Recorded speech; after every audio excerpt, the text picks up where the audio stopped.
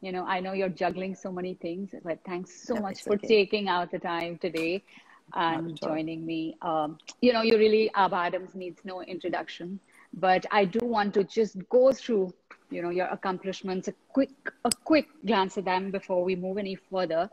Abha Adams has created an enviable reputation as an innovative educationist, a prolific writer on education, and an accomplished orator. She has spent over 35 years in education, media, arts management, both in India and the UK. As former director of the Sri Ram Schools and advisor education to Step by Step Noida, she has been instrumental in founding and developing two major educational institutions in the country. I totally agree. My children were in Step by Step. She conceptualized and led the Center for Learning and Teaching, which focused on teacher capacity building, mentoring, and coaching. But presently, she is leading a leading educational consultant and vice chair of the Ahvan Trust, working with multilateral agencies, state governments, and foundations on policy and strategy to upgrade government schools and ensure successful learning outcomes by developing curricula and teachers' skills and proficiencies, which I think is absolutely the need of the hour. Um, it, it, it's a, you know, there's more. I'm sure there's more. You've just given, I, I've just given up. No, there isn't anymore. and it makes me sound as old as the hills, which I am. no, but uh, you know, it was fascinating for me to read the theater part of it in there. Ah, It really was. That's that's where I was. That that's where I got stuck, and I was like, oh wow, because you know I'm always I'm always encouraged by people who go beyond what I think is the comfortable, and have that other little thing on the side, which is fascinating. So anyway, I'm not going to take much time okay. and dive into the conversation. Uh, you know, Miss Adams, I think there's a, now the, the talk about taking our children back to schools is gaining a lot of momentum. We're, you know, we're all saying it's time. I think parents, a lot of pa- parents for the wrong reasons have been also saying it's time. But my point is that is it as simple as that to take our um, children back to the classroom? Should we not first be assessing the damage that they've gone through? You know, the, the magnitude of that lost year, not just the lost year. Uh, just now, first call me Abha. Um, Done. Mrs. Adams uh, makes me Miss. feel as if I'm back at school, and I'm not. Oh yes, Uh, and I'm not, and I'm not the school parent either, so that's good. That's right. That's right. Um, you know, you're absolutely right. Uh, I think I speak for everyone's feelings and emotions when I say that these have been truly unprecedented times. A lot of children told me that they spoke to their grandparents and asked them, Dada, have you ever been through a time like this? Uh, was it like partition? And uh, Dadaji apparently said that, uh, Bache, there we knew there was a war, but we could uh, see the enemy, or what sadly we thought was the enemy. But yahan pe, it feels like a war. There is loss every day during the second wave. Everybody lost somebody. And the trauma of that is something we need to recognize. So before we bring our children back into school, we need to recognize two or three very crucial things. Number one, that over the last, and it will be almost 24 months since our children saw the inside of a classroom.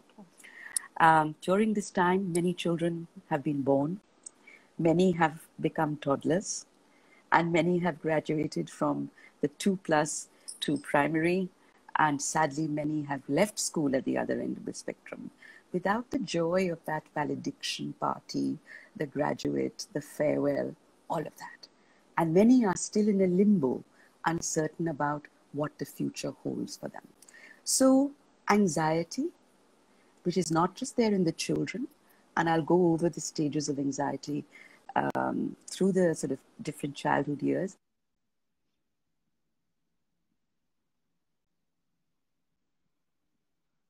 To be taken into account. It's anxiety for all the stakeholders, for the children, for the parents, for the teachers. We are expecting so much of our teachers. During these, what we call now, and will probably go down in history as COVID times, teachers have been like the frontline warriors. And I speak for educators everywhere. They have scrambled to discover new ways of teaching and learning. those that schools that could afford the whole digitization and the leap into digitization and online learning did so. Those that couldn't, as in government schools, created worksheets which were WhatsApp to children, and the children responded. Teachers have been calling children in many schools that I'm aware of, government and private, to check up on them. How is everybody? And you know, so we've all been through this, and this needs to be acknowledged before we embark and think we can pick up from where we left off. We can't. There has been too much emotional water under the bridge. Learning loss aside, there is this whole aspect of the socio emotional well being. So, as schools grapple with this, I'm going to sort of split it um, and talk about it. First, about the foundational years. Jyotsna, if you remember as a child, you grew up amongst other people. And babies grow up learning from around them. Yes, they, they grow up with sensory experiences. They grow up with hearing different voices talk to them in, you know, baby talk, as they do. But they have all this, this stimulation. And that means that when a child's brain gets, in a sense, stimulated through this through these senses, then uh, neural pathways begin to form. When a child does not get this particular input, the neural pathways don't form and the brain doesn't develop as quickly and as roundedly as it should. And neuroscience tells us that, that now between the ages of zero to eight is the maximum capacity building of our brain. So those children who have been born during this time have had a huge deficit of learning through socialization. I have various instances, which I quote in my book, about children who have only seen a mother or a father, or perhaps a didi who's there. If a nana or a nani, dada, dadi, if they're fortunate enough to be around, come in, the children scream. Any stranger comes in, they scream. If they take the child out beyond the comfortable natural environments, they are uncomfortable. So there is that fear. So that deficit is something we have to be very, very, very aware of in the foundational years. Another deficit that has, I think, cropped up, in my opinion, is that of play. Children learn through play. We all grew up playing outside and we played with whatever we could find. We didn't play with toys and gadgets alone. Well, there weren't many gadgets in my time, No. but uh, you know, so mine either. Exactly. There were trees, there were shrubs, boxes. We created games for ourselves. When children play with each other in this free, unstructured way, again, what happens is that they develop certain skills. They develop the skills of negotiation. पहले मैं चोर बनूंगा फिर आप policeman बनोगे whatever. They develop skills of planning. अच्छा हम इसको कैसे करेंगे? They develop skills of analyzing what went wrong. They develop communication. They develop compromise and adjustment and learning to live with each other. And um, uh, Sonia Phillips, who is a dear friend and an eminent educationist, uh, calls it that these are executive functions that are very necessary as skills, as life skills. And this cause, if you don't play enough in an unstructured way, it causes a deficit of these executive decision making skills. And that goes on through life. So, in the foundational years, we have seen this very clear deficit that's happened. Um, if we move on to the primary, suddenly those who were able to go online have had online classes. But I'm skeptical about the um, how deep an online learning, frankly, can be, because assessments are done, but we are still in a kind of a research phase as far as that is concerned. Senior school children, by and large, could be self directed learners, but they too are missing the socialization. Speak to any child, they want to get back to their friends, they want to get back to their teachers. As human beings, we need people. So, if these are the various, um, you know, areas that we have to address, How do we go about it? Two scenarios. Number one, that schools don't open for a while. I know that Haryana has opened up for classes 9, 10, 11, 12, and classes 6 to 8. I think Puducherry has also opened up. Maharashtra, certain districts have opened up. Many states are watching for the outcome of August and whether there will be a third wave. Because if they open up and there's a third wave, then it's back to square one. So, in the event schools don't open, December, November, it will have been 24 months practically, particularly for children in Delhi. Think back to um, December 2019. And that was the time that I think the elections were on. So schools were disrupted, if I'm not mistaken. January, the riots broke out in the Northeast. Schools were disrupted. By February, sorry, elections were in February. We then began to get an understanding that something was amiss on the health front.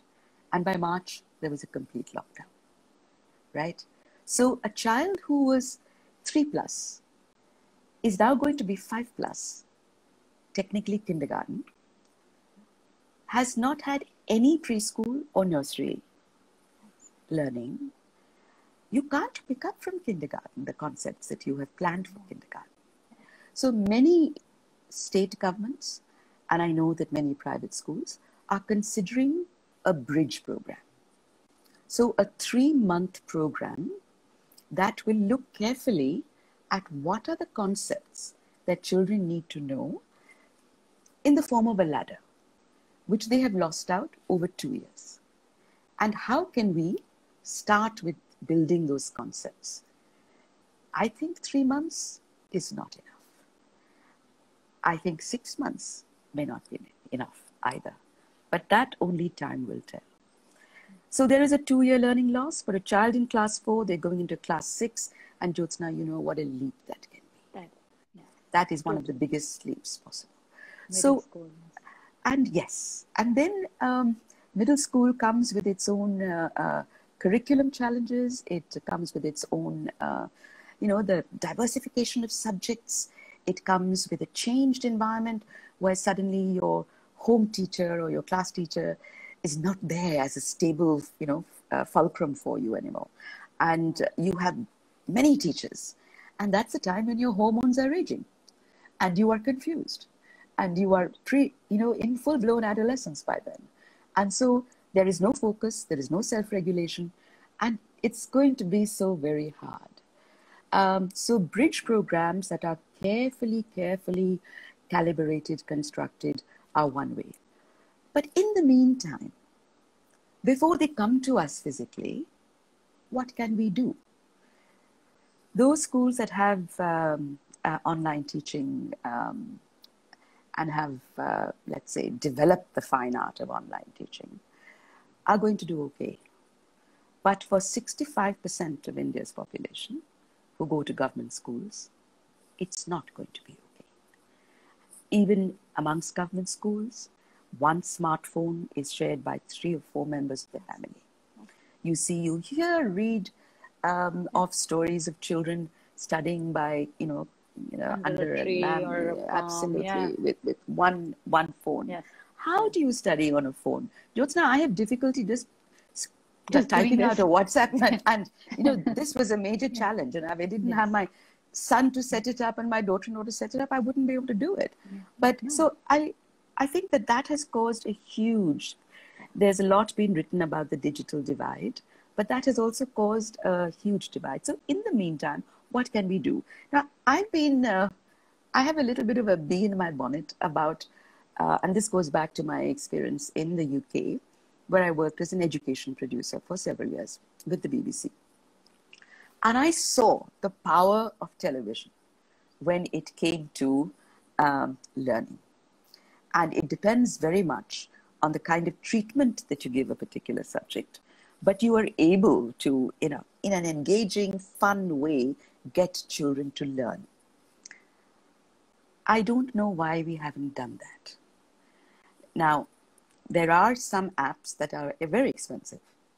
Everybody can't afford them, that are able to do that. But for the underserved, for the 65% and above of the population, those apps are not a reality. And they cannot subscribe to those apps, and I'm not going to name them. Interestingly enough, the most of the content is um, not um, contextual. So we have a lot of cartoons that we see on many of the channels, but they are all imported. We have no real connect with them other than Bheem and other such uh, things. So I've been uh, advocating for a while now that low cost learning through mass media via Doordarshan, people may not have smartphones, but 97% of the people have a television. And in the rural areas, particularly, the reach is there. DD has a tremendous terrestrial reach. You know, uh, the other uh, um, um, platforms may be charging, uh, you know, um, fees, and there may be a financial implication. So you may not have a Tata Sky connection, but a Doordarshan connection you will have through your cable operator, and it'll be free. So I've been pushing for that for the foundational years because class six will come back. But what about that foundation? And it's these foundational years of three plus, four plus, five plus, six plus, and seven plus, all the way up to eight, that are, you know, that's where your जिसको कहते हैं ना नींव where your foundation is built those are and your building blocks of learning grow from that if that is weak and it has been weak all this time it is uh, we have a lot to be grateful for for the national education policy 2020 which has made this a subject of focus that every state has to do it. I just hope that the money is made available for it. I mean on the one hand we have nep 2020 and on the other hand we have 6500 crores slashed from the education budget. So somewhere in my head that doesn't quite square up. But uh, perhaps something will happen. I don't know. I'm, right. I'm, no, I was going to ask you about the budget. It's, it just goes one way and the wrong way. As an educationist, I've learned that you have to be an optimist. If you are not optimistic about the future, you have no business being in education. So I'm optimistic about several things. Number one, that um, the powers that be will see the sense in investing in the foundational years of learning and make the money available. Number two, I see the resilience, Jyotsna. I see the resilience in spite of all that's happened in our young people. And um, bear with me while I share a story or two. I've seen the children who, um, when I left uh, step by step, um, who were in, say, grade 11, they completed grade 12.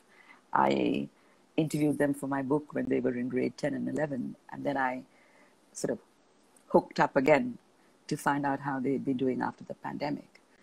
And I cannot tell you the difference that I saw in many, not all.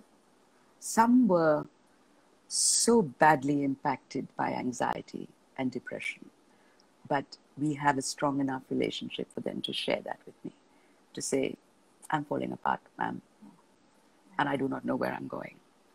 Um, for others, it was a wake up call to dig deep down when they began to lose grandparents, uncles, aunts, and young people, young cousins. They had to find the strength. They all got involved with um, voluntary organizations. And they began to um, um, find the ambulances, find the oxygen uh, concentrators for people, you know, connecting um, um, time and time again with those in need, uh, which gave them a purpose. They got disciplined. These were privileged young people whom you had to drag out of bed at midday, and parents thought that was going to be the case, but who realized that it was now up to them because the world, as they saw it, was uncertain, could not be depended upon, yeah. was fragile, fractured, and they would need to get up and face it. And doing so, they faced their fears. They used all their skills of technology to help other people. And I saw that being very, very evident. And in, in all of that, they took a gap year, they um, built other skills. But here we're talking about the privileged kids. What about those who are underserved, you know? Uh, so there, the picture is a very different one. They're where through the cracks, right? Yeah. Children had to become the breadwinners as parents lost jobs. Uh, parents, children had to become the parents as parents went into depression, domestic violence on both fronts, um, a lot of pain, a lot of early uh, uh, girls being married off early in uh, areas of uh, Himachal, boys being sent to tutorials or tutors, girls being sent to the cotton fields to pick cotton in Telangana because they needed the money. Okay, so um, how do you come back from that? You have to come back from that, keeping all of this in mind. And reaching out now through mass media to the children and to the parents and to the teachers and building programs that will bridge the trauma as well as build the learning loss that will not expect things to pick up where we left from and that this is a journey that schools and that by that I mean private and government, schools, educators, parents and children have to take together hand in hand. Schools can't have expectations here, right? You're back now, here's your homework, here's your assignment. Sunshine, if, if you don't deliver, mm. you know, you can't do that anymore. I've always said that actually, uh, you know, when I was even researching, and this was just before the pandemic, that I think there has to be a somewhat a different, a more holistic embracing of students going to school as well. But you know, before I come to that, um, you were just mentioning we were talking about children falling through the cracks. That the gender disparity of this pandemic is also very evident, isn't it? Girls are the first one who are losing out on education, losing out on so much, losing out on some things like even vaccine. You know, if if if, if someone has to get it, let's just give it to the boy or the man of the house. They're just falling and falling and they i mean it's it's a huge crisis right? Yes it is. It is. And you know you have to uh, unless you read the right columnists and the right sort of uh, uh, niche papers if you like you you have to look for this why isn't it uh, okay so i will have to confess that i've stopped watching television right. i uh, just can't stomach the screaming anymore yeah so I uh, I don't don't do that. Either. Yeah. Uh, all right. So why? But why isn't it um, making headlines? Um, why is it that I have come to know about this when I'm having a deep conversation with uh, with uh, um, the leader of an NGO that works with children in adversity? Um, why isn't it? Why aren't we talking more about this? Yeah, we're not just as we don't talk about our children's mental health, which is, you know, which is down the tube, in my opinion, and has been for the Mine last too. 10 years. Mine yeah? too, yes. But uh, it, it's not flag. It's, it's not a red flag, no. sadly. You know, uh, yes, it's, it's, it's now becoming much more acknowledged. Um, but children as young as eight having anxiety attacks? What? How much fear? And this is only going to exacerbate it. So, will we be able to get those girls who have been sent out?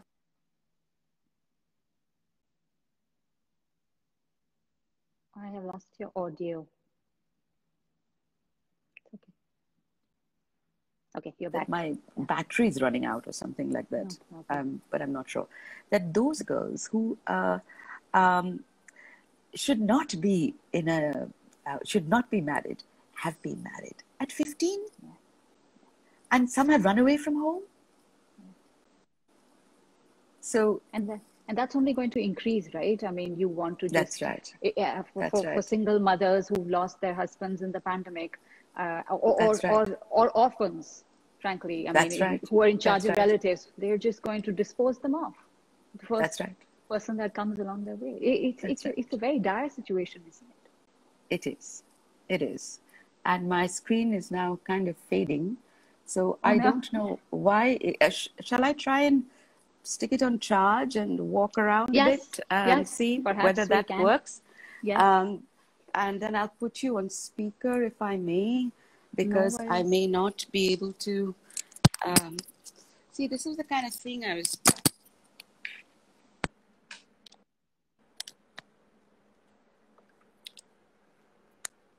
Hi, Jyotsna, can you hear me? yes. Yes, yes, I can hear you. Right. I can okay. hear you. But You know, I can the other thing is way- so I'm sorry about that. Oh, no. Oh, you can't? Um, I've tried to put it up as high as possible, but anyway, Okay. let's let's carry on. So the thing is that, you know, when we're talking about bringing these children back who've missed years, uh, you know, who've gone straight, as you said, from, you know, they should have been in kindergarten, they've gone straight into year one, or, or that whole discrepancy. The other thing is, of course, that these children, or many of them who are going to come back to school, are not going to be disciplined. It's been a very different life outside, right? I'm so glad you mentioned that. Um, I wouldn't call it disciplined. I would just say that children have had emotionally a very rough couple of years um, where they have not understood what is happening to them. So the fear and the anxiety, the uncertainty, the changes in the situation, many have become extremely aggressive.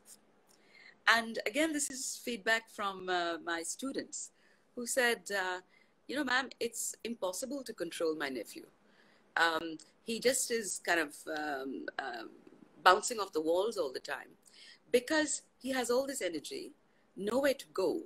And frankly speaking, if you're living with your parents 24 7 without a break, and that's all that you do or see, people get on each other's nerves as well, you know, Yes. and there's no space to go. So, this kind of incarceration has also, will also, um, I think, uh, reflect in aggressive behaviors when they come back, uh, the inability to uh, to stay centered, right, and to stay Yeah. calm, which is why the emphasis on the socio-emotional well-being at all times um, as a very important ingredient of bringing our children back to school is really critical.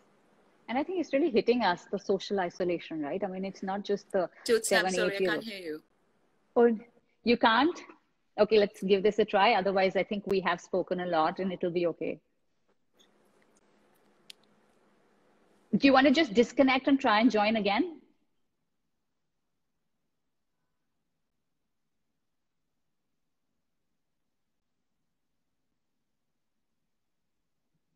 Is, is that okay? I can hear you. If you can hear me, All right. Yes, yes. I'm just trying to think. Clearly, my iPhone has um, become too old like me. My children have been not at all. one, and I've been Not at, not at all. Not at all. So, so it has discharged itself. Uh, no, I think it's fast. it's called COVID woes. That's also yeah, yeah. Okay. it's it's it's also uh, rebelling and revolting in the pandemic. Uh, but you know, I, the thing I was asking you about, and these children, is also the fact that social isolation has. Uh, I, I, I, you know, when I was finishing the book, it, the pandemic was just starting. So you know, it was just uh, the epilogue was the fact that. Uh, you know, I've been telling children to get out, to get out, leave the gadget, go out as an outdoors.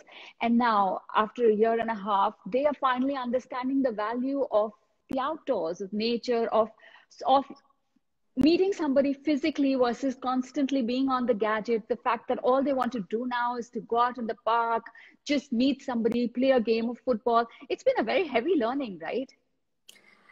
But thank heavens it's been there because you're Yeah. absolutely right. Some of the most beautiful phrases I've heard um, from 18 year olds is that, you know, I have appreciated the beauty of a sunset on a monsoon, you know.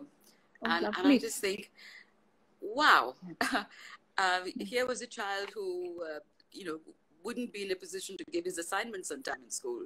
Yet, this, you know, it's this this particular period has caused us all to introspect and think about what it is that we need. And when you think about it, what really matters in life are just your relationships, are the love that you get and you receive.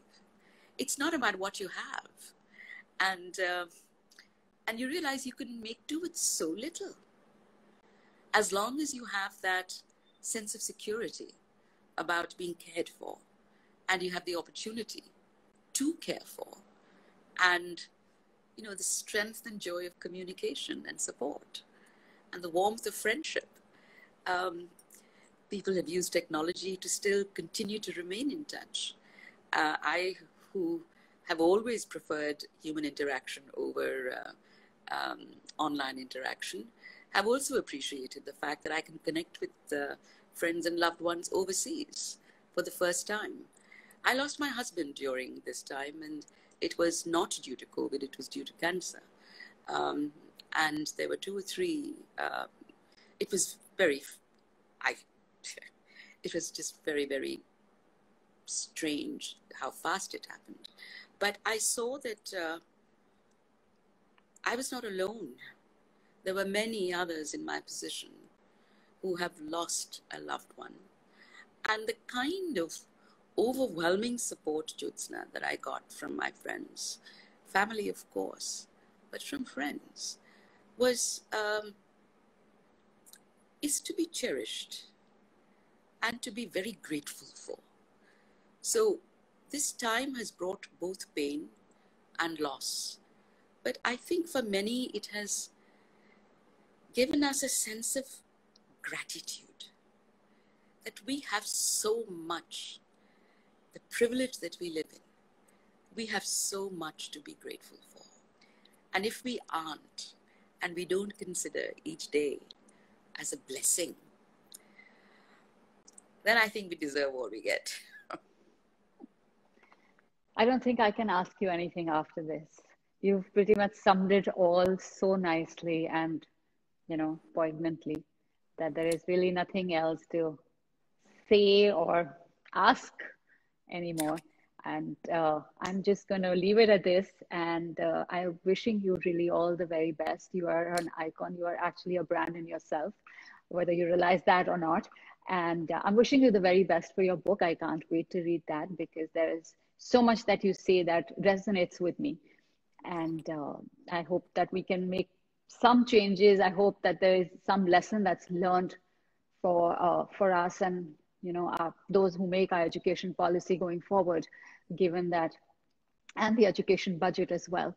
But uh, you know that's crucial. I mean that the four percent internet in rural India that's dismal if if you know if we come back to thinking that a hybrid way of teaching will forever be hovering around us we can never attain anything then no. so no. yes so I, am I'm, I'm going to leave it at this and thank you very much abha for joining me and Not I at all, It's been a pleasure.